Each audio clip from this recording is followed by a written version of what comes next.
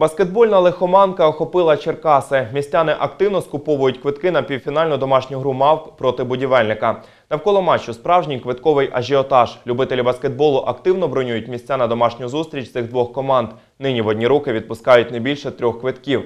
Ліміт зменшиться напередодні гри, зазначають організатори.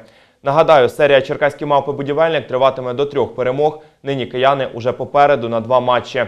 Найсильніша команда автоматично пройде до фіналу. Домашня гра 18 квітня стане для Черкас вирішальною.